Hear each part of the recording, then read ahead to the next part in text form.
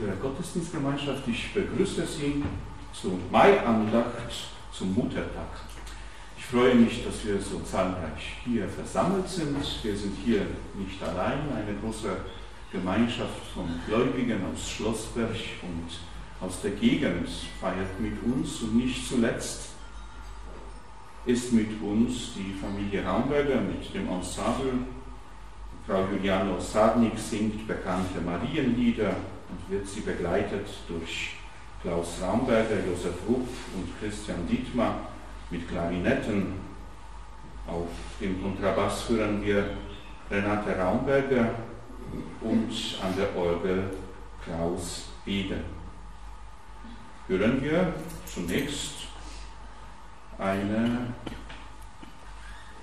ein Einführungsstück.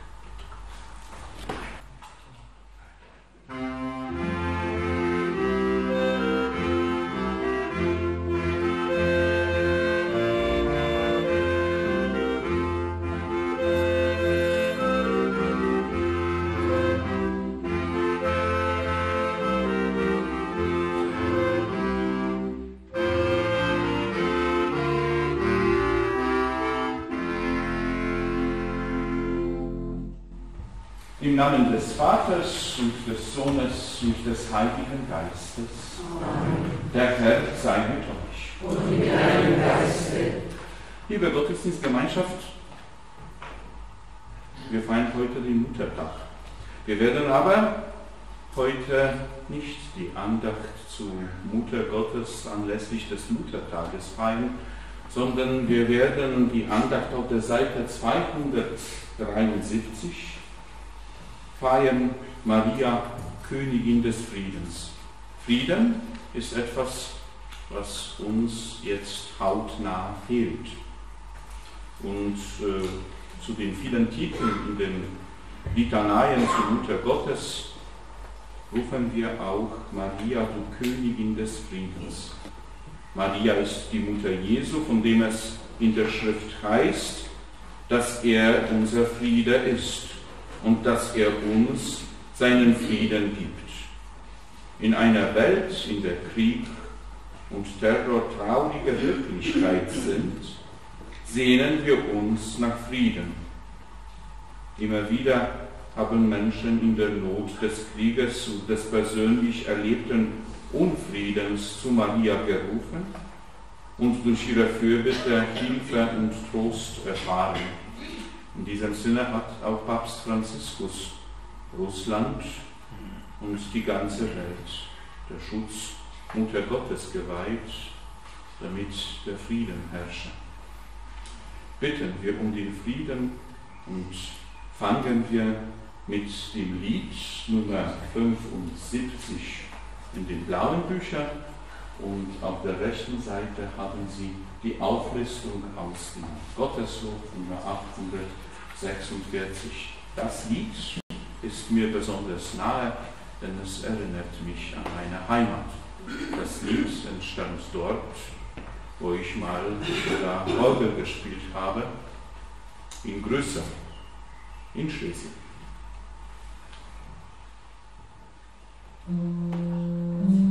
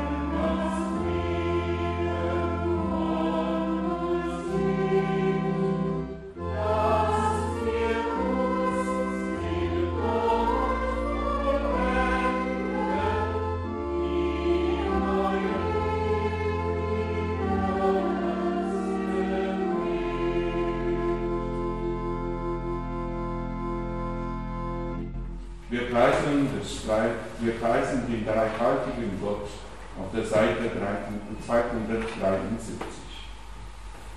Allmächtiger Vater, wir preisen dich und danken dir, dass du Maria so wunderbar begnadet hast. Sie ist die unversehrte Jungfrau.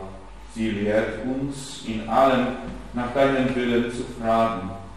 Wir danken dir, dass du sie uns als Vorbild gegeben hast. Wir loben dich, wir preisen dich.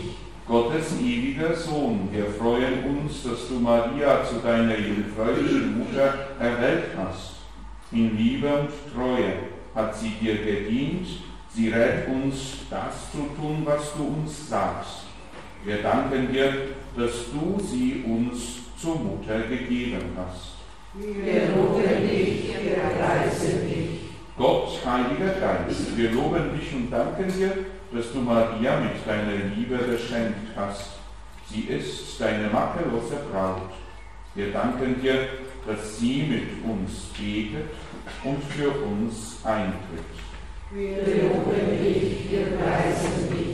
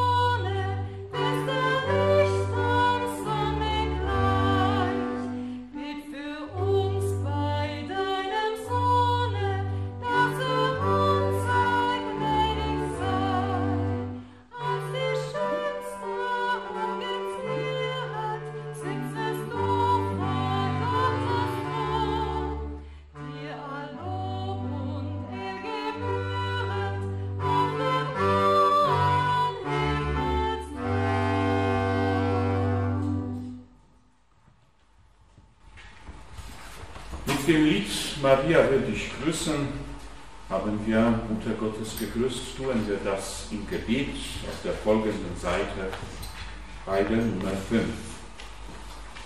Ich danke dir, Maria, ich danke dir, dass du mich verstehst. Ich danke dir, dass du mir meine Mutter sein willst. Wenn es dunkel ist in mir, gib mir Klarheit. Wenn ich am Abgrund stehe, gib mir Halt. Wenn ich fern von Gott bin, führe mich zu ihm. Wenn ich in Not bin, hilf mir. Wenn ich mich leer fühle, schenk mir die Gaben des Gottesgeistes.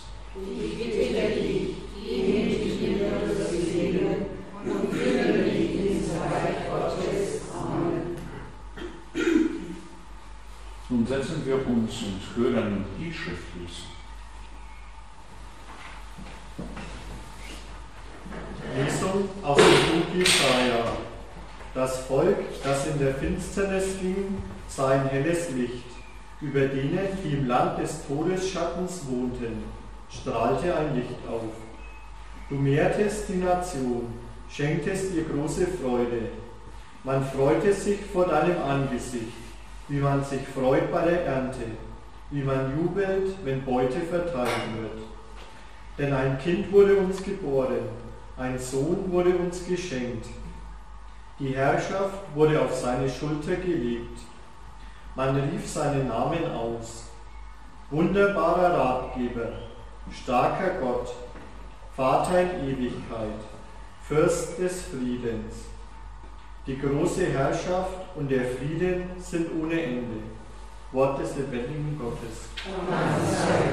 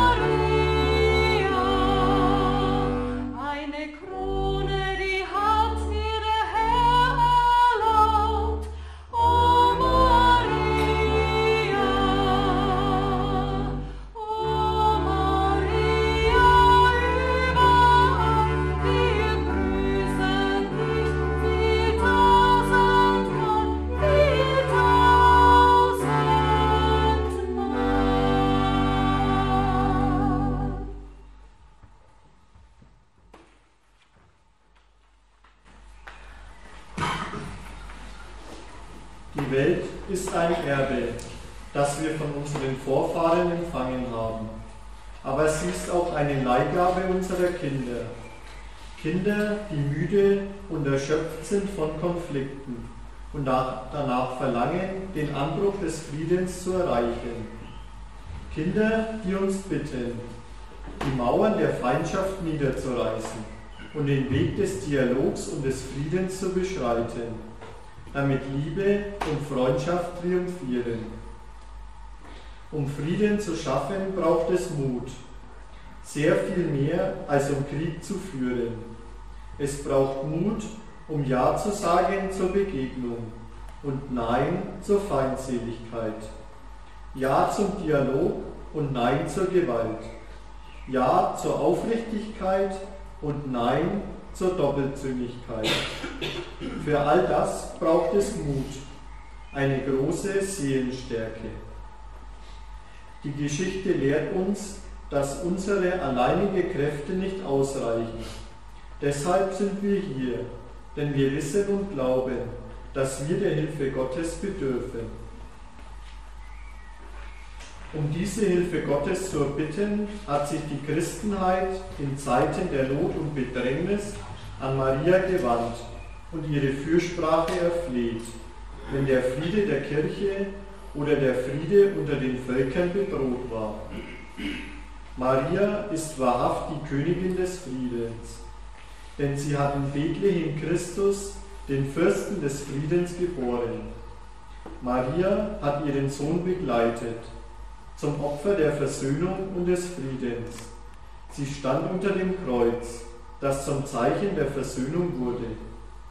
Sie führt uns zum Frieden, den Christus verheißen hat. Er ist der Friede, den die Welt nicht geben kann. Der Friede, der im Herzen des einzelnen Christen durch die Versöhnung mit Gott seinen Ursprung hat und den wir weitergeben sollen hinein in diese friedlose Welt.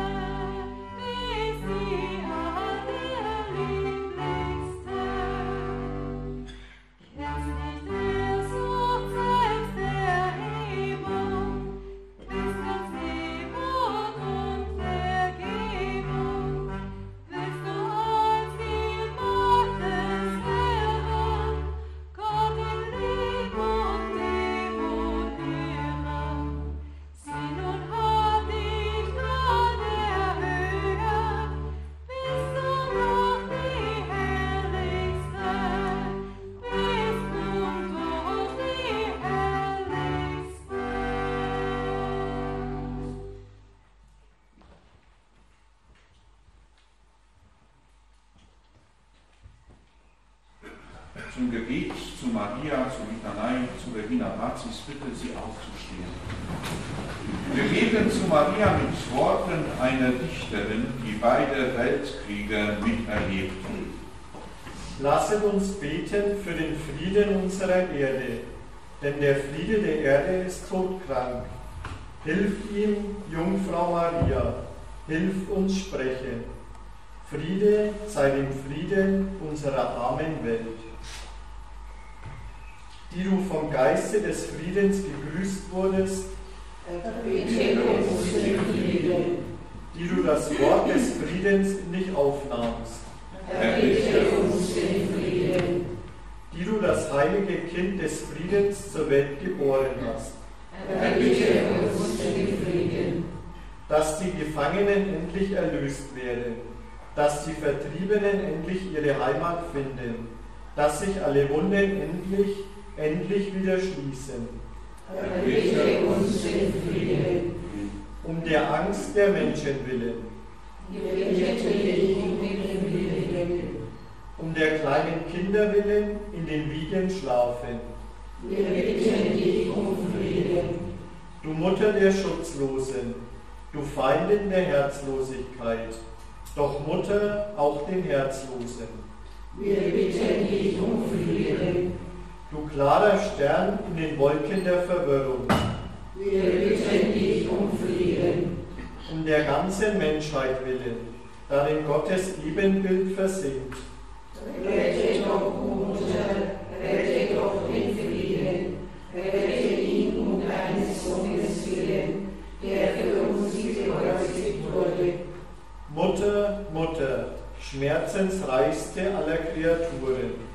Nimm in deine Arme die verlorene Welt. Mutter, Mutter, unser Friede ist ja schon gestorben. Es gibt nur noch den Frieden in den Himmel. Bitte um die Auferstehung unseres Friedens. Der dich mit Flügeln emporriss in die himmlische Verklärung.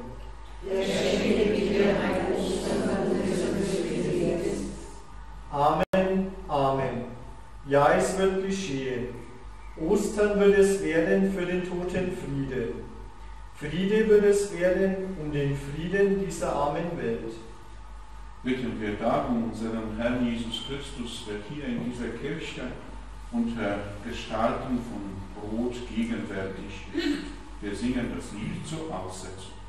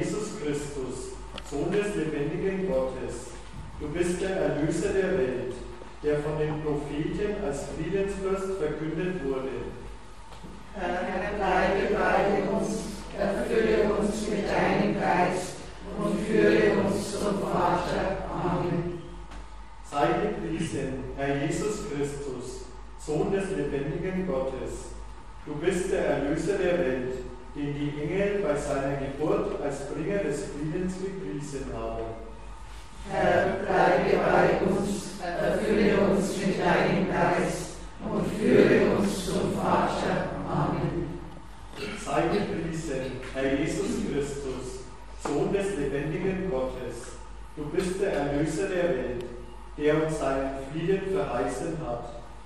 Herr, bleibe bei uns, erfülle uns mit deinem Geist und führe uns zum Vater. Amen. Sei gepriesen, Herr Jesus Christus, Sohn des lebendigen Gottes.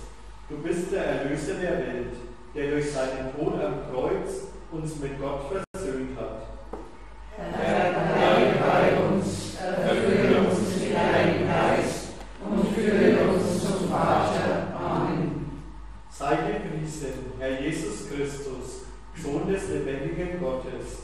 Du bist der Erlöser der Welt, der uns am Ostertag den Frieden zugesprochen hat.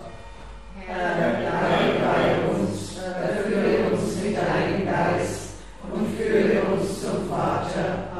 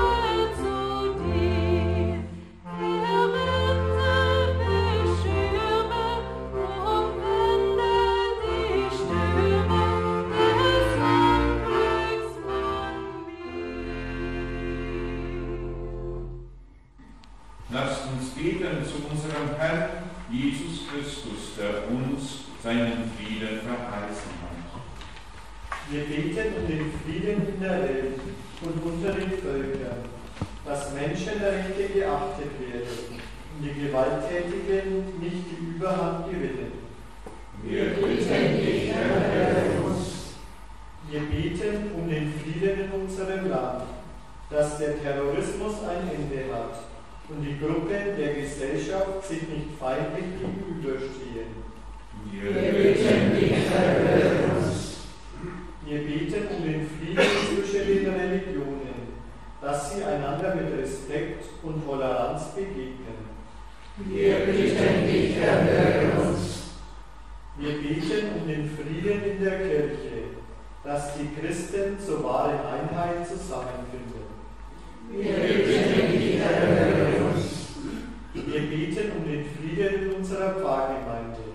dass wir gerne zusammenkommen, dass wir einander helfen und ein Zeugnis der Liebe und Einigkeit geben. Wir bitten uns. Wir beten um den Frieden an unserem Wohnort, dass wir all den Streit beenden und um das Wohl aller besorgt sind. Wir bitten uns. Wir beten um Frieden in unseren Familien dass die Eheleute in Treue verbunden bleiben, dass Jung und Alt einander mit Verständnis begegnen und die Bereitschaft zur Versöhnung wächst. Wir bitten dich, erhöre uns. Wir beten in Stille um den Frieden im eigenen Herzen, dass wir frei werden von Neid und Bitterkeit und mit Klugheit und Demut Frieden stiften können.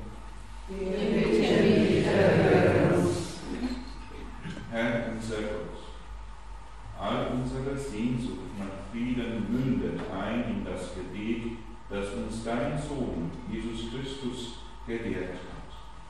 Vater unser im Himmel, geheiligt werde dein Name, dein Reich komme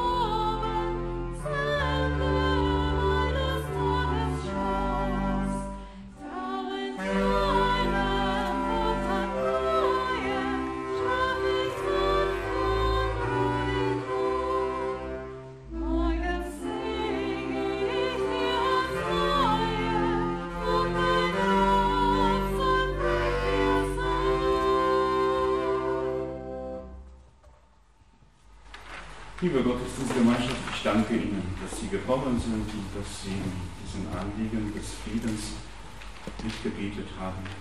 Ich danke sehr herzlich auch Frau Mintel für die Vorbereitung der Kirche, unseren Felix, der tapfer Ministrantenhaltung stellt für uns im Schlossberg. Ich danke auch dem Herrn Schwarzfärber, der uns unterstützt hat als Lektor und nicht zuletzt, aber glaube ich, aus einer Krönung danke ich unserem musikalischen Ensemble, der Familie Raumberger mit der Solistin. Und ich denke, mein Dank genügt es nicht. Und dann dürfen Sie es auch mit dem Applaus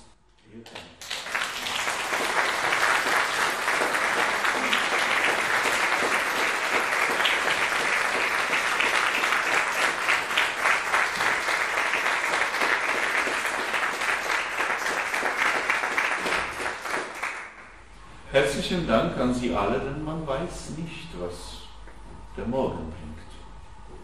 Vielleicht hat unser Gebet eine große Bedeutung. Die hat es sicherlich. Wissen wir das aber. Ich lade Sie deshalb ein, auch zu anderen Angeboten, wo unser Pfarrverband um den Frieden bietet. Kommen Sie und machen Sie mit bevor wir vielleicht in die Karabine und in die Waffen greifen müssen, nutzen wir die Waffen, die uns die Kirche einfach als Schutz und Empfehlung stellt.